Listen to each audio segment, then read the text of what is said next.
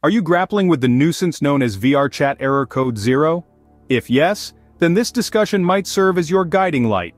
Error code 0 in VRChat is a common issue that users encounter when trying to load the virtual reality application. The screen freezes and the error message pops up, leaving users perplexed and frustrated. Although there isn't an official explanation pinpointing the exact cause of this error, our research suggests it's primarily triggered when VRChat servers run into a problem.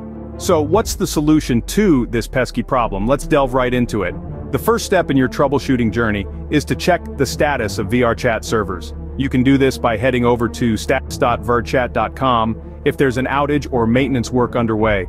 The best course of action is to exhibit some patience and wait for the VRChat team to rectify the issue. However, if the VRChat servers are up and running smoothly, yet the error persists, consider restarting your device. It's a simple step, but you'd be surprised how often it can clear up minor glitches and get things running smoothly again. Still seeing that dreaded error code 0?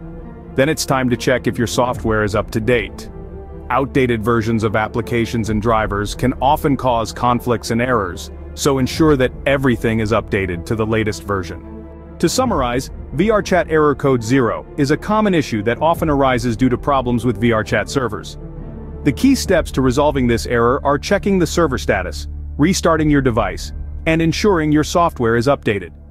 Remember, while these steps can often help resolve the issue, they aren't infallible. If the error persists even after following these steps, it may be best to reach out to VRChat support for further assistance. And with that, we wrap up our discussion on how to troubleshoot VRChat error code 0. Here's hoping that you're able to dive back into your virtual reality experiences without any more hiccups.